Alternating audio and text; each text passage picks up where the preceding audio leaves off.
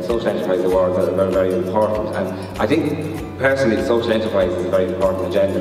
Uh, and it's something that we need to promote a lot more. And that's why I'm delighted to have the opportunity to, to have these awards, to have this discussion, to recognise the importance of social enterprise in all areas, but certainly in Dublin inner city and in the Dublin city as well. It's very, very important.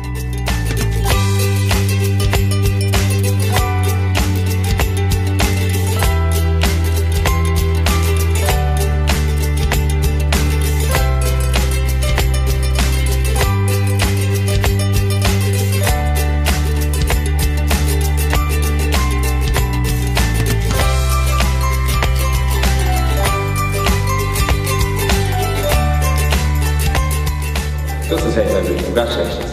And congratulations to, to the five award winners today as well. Good luck for rolling out your enterprises uh, over the year ahead. Good luck with the 2017 version of this as well. I think it's really, really important and I'm happy to be able to say well done to everybody. Keep it going. Looking forward to working with the years ahead well. Keep it up and thanks for having me. I appreciate it.